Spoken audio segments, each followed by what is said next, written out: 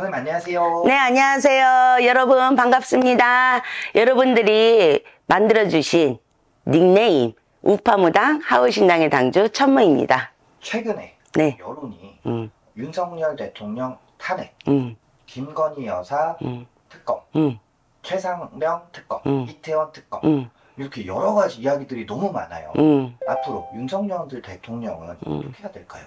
지금 아주 그냥 특검, 특검, 특검. 탄핵, 탄핵, 탄핵. 네. 이 난리들을 쳤지. 어. 근데 윤석열 대통령님은 이렇게 가셔야 돼. 지금처럼 강직하게 꼴통짓거리를 해라. 어, 굳건하게. 국민이 원하는 건 뭐냐? 국민을 위해서 국민이 잘 사는 나라를 만들어 달라고 그랬어. 어? 그러면 당신이 하고 싶은 대로 다 해라.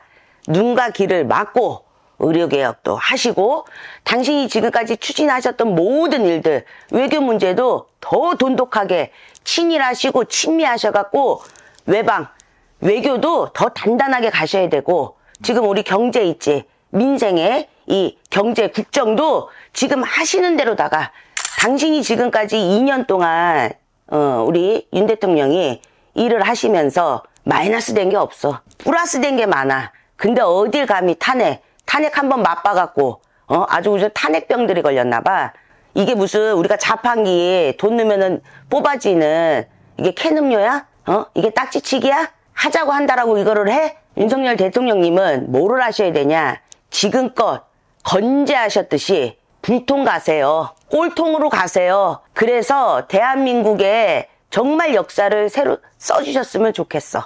선생님 그런데 음. 제가 다른 선생님들의 영상을 보면 응, 거의 모든 분들이 응, 되게 많은 분들이 응. 윤석열 대통령은 탄핵이 될 거다라는 영상이 되게 많아요. 탄핵 안 돼. 왜 안 되느냐?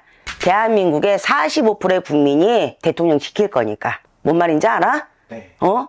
한 번 당해봤으면 됐지. 두 번 그렇게 비참하게, 어? 망조드는 나라를 또 만들어? 국민이 이제는 못 참아.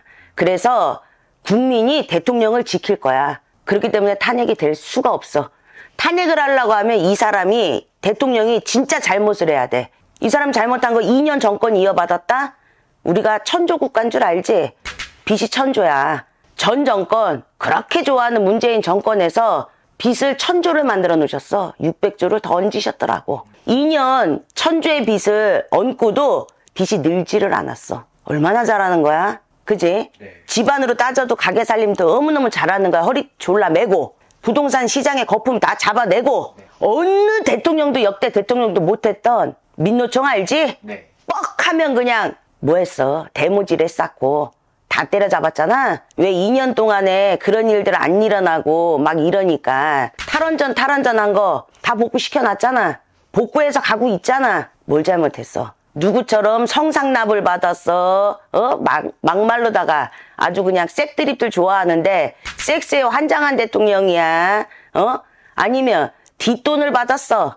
어? 뭘 했는데?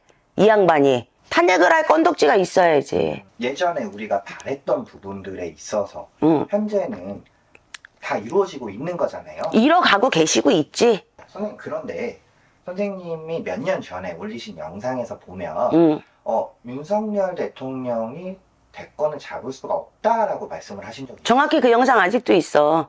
윤석열 대통령은 차기 대통령의 대한민국 대통령 안 된다라고 나 얘기했어. 윤석열 대통령뿐만 아니라 다른 분들도 다 안 된다.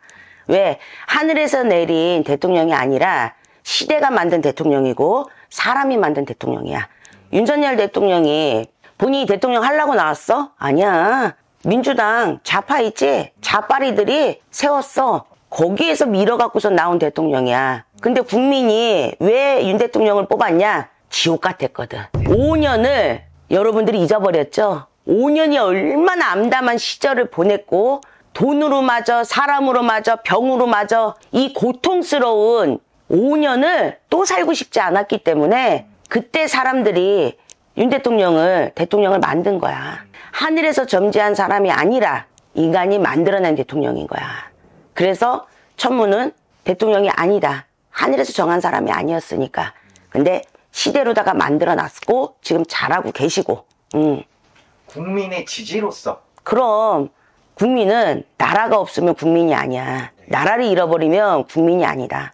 어? 그리고 국민이 나라를 버릴 수가 없어. 이거 굉장히 중요한 얘기인 거야. 어, 국가 부도가 나잖아. 우리가 인민공화국이 되잖아. 그럼 무슨 일이 벌어지는지 알아? 베네수엘라, 아르헨티나처럼 돼. 이거는 어떤 사람들만 그러는 줄 알아? 없는 사람들만. 우리가 서민이라고 하는 없는 계층들만 남아서 서로 물고 뜯고 헛들, 헛들, 헐뜯으면서 사는 거야. 돈 있는 사람들은 다 이민 간다? 국가 부도 위기가 되려고 하면 왜? 쥐들 그렇게 반이라고 어? 반미하는 민주당 것들 애새끼들은 다 미국 시민권자잖아. 그리고 그 사람들은 다 움직일 수 있는 돈이 있잖아. 대한민국 국민 중에 현찰로 50억 이상 100억씩 갖고 있는 사람이 몇 프로나 될까? 거의 없죠. 어? 중상층이 무너졌잖아. 어. 근데 높은 자리에 계시는 그 양반들은 다 갖고 있잖아. 머니 다 갖고 있고 힘 갖고 있고 움직일 수 있는 조건 다 만들어 놨고 나라가 망해서 폭망을 해도 지들은 살 길이 있다는 얘기야. 그렇기 때문에 탄핵 탄핵 지랄들 하는 거야. 지들은 빠져나갈 구멍이 있으니까. 자, 선생님 그러면 윤석열 대통령은 응. 지금처럼 본인을 지지하는 국민들을 믿고 응. 이렇게 앞으로 지금처럼 나아가면 된다라고 하셨어요. 무조건 이렇게 가셔야 돼. 왜? 국민의 지금 45%가 윤 대통령을 지지하고 그 사람을 바라보고 희망을 품고 그 사람을 위해서 지금 견디면서 살고 있어. 근데 이거를 이재명 당대표하고 영수회담을 하는가 동시에 45%의 국민들의 등에다가 칼을 꽂는 짓이야. 음. 절대 하시면 안 된다는 얘기야. 절대 절대 하시면 안 되고 지금처럼 당신이 굳건하게 힘이 드시겠지만 어떤 위안을 받으시면서 당신 뒤에는 45%의 국민들이 당신을 지지하고 지키고 있으니까 절대 무너지지 마시고 정말 나라를 위해서 국민을 위해서 당신이 국가 발전을 기이하시는 이 일에 꾸준하게 걸림돌 없이 가시기를 진짜 바래. 그래도 나는 살 만큼 살았다. 천무보다 더 오래 사신 분들도 계실 거고 인생을 50주를 살아보잖아? 그러면 반평생을 살아봤기 때문에 지금 죽어도 덜 원망스럽고 덜 후회스러워. 근데 나의 후손들은 이제 태어난 애들이며 10대들, 20대들 살아, 살아도 보지 못하고 꽃도 한번 못 펴보고 그냥 암흑 같은 지옥 생활들을 해. 그게 눈에 너무 선하게 보이니까 이거를 저지하기 위해서 저지해달라고 간곡하게 지금 요청드리는 거야. 어. 아, 나.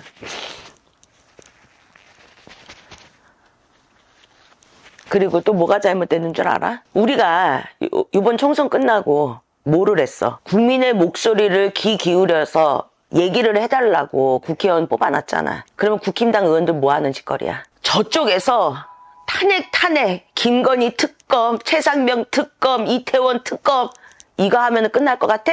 꼬투리를 또 잡아서 무슨 특검, 무슨 개혁, 탄핵, 별지랄 다 할 거라고. 근데 왜 여기에서 벙어리 맞박 씨발 친 것처럼 왜 단 한마디들도 못해, 이 국회의원들이. 이 빙신 같은 것들이, 이 머저리 같은 것들이. 2년 동안 윤통이, 윤 대통령이 나라를 위해서 얼마나 많이 만들어내는 이 업적에 대해서 왜 단 한마디도 국민들한테 씨부리지를 못하고 앉아있어. 언론 좋잖아.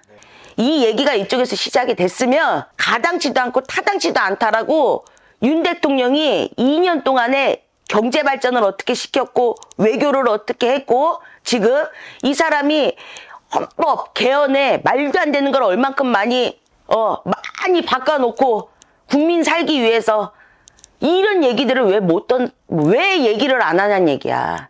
어? 그거 얘기하라고 지금 국민이 45%가 지들 뽑아준 거라고. 어? 근데 왜 이 얘기조차도 한 명도 못 하고들 앉아 있냐고. 어? 앞으로는 좀 정말 힘을 모아야 될 때인 것 같아요. 진짜 국민 여러분 정신들 차리세요. 여러분들이 한 번의 탄핵으로다가 5년을 지옥같이 보내셨습니다.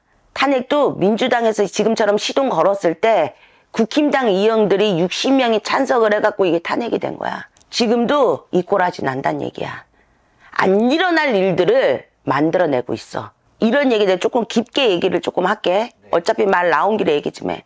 지금 대한민국은 암세포들이, 이 빨갱이 암세포들이 얼마나 많이 장악이 돼 있냐. 언론, 사법, 문화, 교육, 종교, 이외에 등등 모든 전역에서 야 오죽하면 천주교 알지? 천주교 신부가 선동하더라. 대통령 탄핵해야 된다고 그거를 미사 예배를 드리고 앉아있더라고. 종교자가 성직자라고 하고 신의 사제들이라고 하는 사람들이 신이 그렇게 시키디? 나도 신을 모시고 하늘을 경배하고 살고 나도 하늘에 하나님을 모시고 살아. 안 그래. 중간에서 신의 성직자들이잖아. 앞장서 갖고서는 대통령 탄핵을 해야 되고 대통령이 이렇게 해야 되고 대통령은 이렇게 이래서 나라가 살아? 어디 그런 선동짓거리를 그런데도 좋다고들 가서 할렐루야들 찾고 이게 종교야? 이게 사이비 단체지? 위선들이잖아 지금 신을 팔아먹고 앉아있잖아 뭐야 돈벌이 수단이잖아 이 정도로다가 이렇게 대한민국이 이 정도로다가 저질인 나라라고 이 정도로다가 쓰레기가 됐다고 쓰레기 분리수거 하는데 한 번에서 되겠냐? 똥도 있을 거고 오물도 있을 거고 재활용도 있을 거고 폐기물도 있을 거고 잡다한 게 다 쏟아져 있는데 이거를 하루 이틀 걸른다고 이게 걸러지고 재활용이 되겠냐고. 지금 재활용 중인 거고 재활용을 하기 위해서 하고 있는 일들이야. 제발 현실을 직시하시고 진실들을 보시라고. 천무가 늘 항상 얘기했어.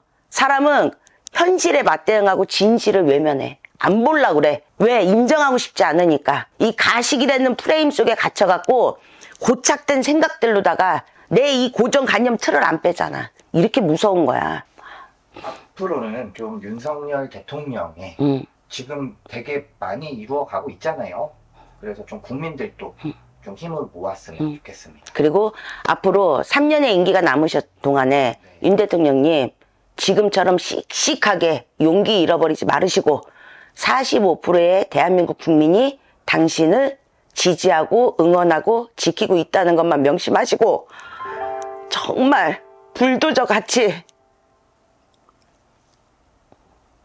기세 꺾이지 마시고 당신의 뜻을 다 펼치시기를 바라겠습니다.